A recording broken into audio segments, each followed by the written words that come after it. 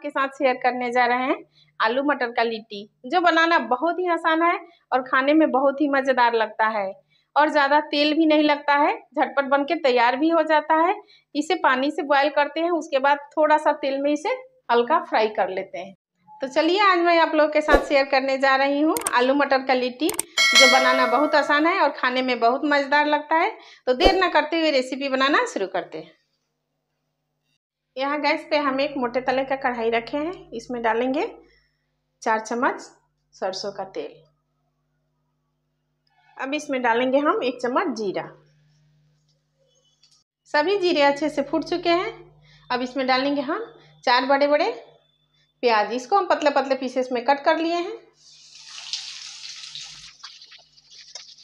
तो golden colour आने तक हम भून लेंगे। यहाँ हमारा प्याज हल्का हल्का भून चुका। अब इसमें हम डालेंगे एक कटोरी हरा मटर, ताकि हमारा मटर भी अच्छे से भून जाए और पक जाए। इसमें इसे हम मिक्स करेंगे।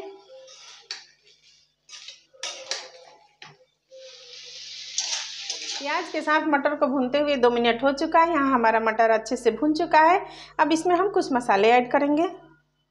आधी चम्मच नमक डालेंगे।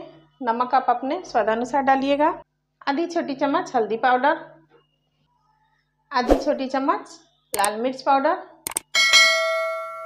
और आधी छोटी चम्मच कश्मीरी लाल मिर्च। आधी छोटी चम्मच धनिया पाउडर। एक छोटी चम्मच भुना हुआ जीरा पाउडर। आधी छोटी चम्मच काली मिर्च पाउडर। और एक छोटी चम्मच गरम मसाला। अब सबको हम अच्छे से मिक्स करेंगे।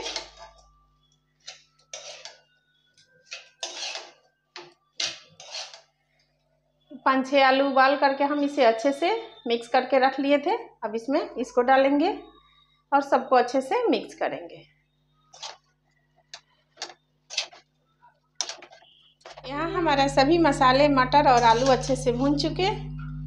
देखिए, बहुत अच्छा से भून चुका है, एकदम कढ़ाई छोड़ दिया है। अब गैस का फ्लेम हम ऑफ़ करेंगे और इसे ठंडा होने देंगे। तब तक हम आटा लगा लेते हैं। यहाँ हमारा फिलिंग्स अच्छे से ठंडा हो चुका है। अब इसमें हम थोड़ा सा धनिया का पत्ती डालेंगे और इसे अच्छे से मिक्स करेंगे। यहाँ आटे अच्छे से सान लिए हैं। देखिए, जैसे रोटी चपाती का डो लगाते हैं, वैसे ही इसका डो लगाएँगे। एकदम नरम सा। थोड़ा सा सूखा आटा लेंगे। अब इसका हम छोटे छोटे लोई बनाएँगे।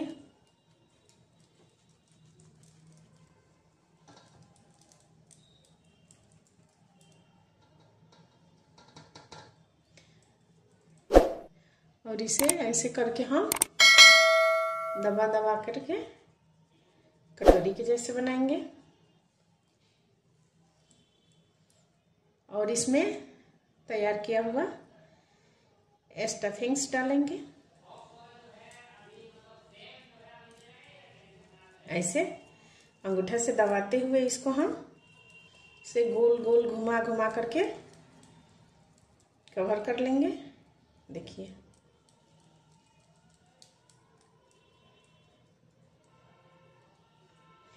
एक्स्ट्रा आटा हम निकाल देंगे। देखिए कितना अच्छा से हम भर के रेडी कर लिए। अब इसे प्लेट में निकालेंगे। इसी तरह हम दूसरा भी भर करके आपको बता दे रहे हैं।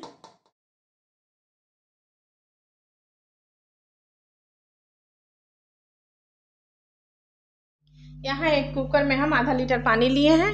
ये हमारा पानी उबल रहा है। अब एक एक करके हम इसको डालेंगे। अब किनारे से करछी लगा के एकदम आराम से इसे हम हल्का सा एक बार ऐसे चला देंगे, ताकि नीचे चिपके नहीं, क्योंकि तेल वगैरह हम इसमें कुछ नहीं डाले हैं। अच्छे से एक उबाल आने तक इसे हम पकाएँगे। यहाँ सभी लिट्टी हमारा अच्छे से फूल चुका है। देखिए कितना बड़ा बड़ा हो चुका है और एकदम ऊपर आ चुका है। देख रहे हैं? एक हम आपको पास से दिखाते हैं। देखिए। अब एक छनौटे से हम सबको निकाल लेंगे ताकि इसका पानी निकल जाए। इसी तरह हम सभी लिट्टी को छान लेंगे। ये तो ऐसे भी खाने के लिए रेडी हो चुका है, लेकिन इसे और टेस्टी बनाने के लिए एक कढ़ाई में हम चार से पाँच टेबल स्पून तेल रखे हैं। इसको हम इसमें डालेंगे। अब इसे हम पलट लेंगे।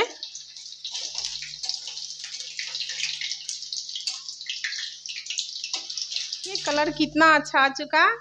अब इसे हम एक प्लेट में निकाल लेंगे। तो हम इसी तरह डाल लेंगे। ये हमारा आलू मटर का लिट्टी बन के तैयार हो चुका।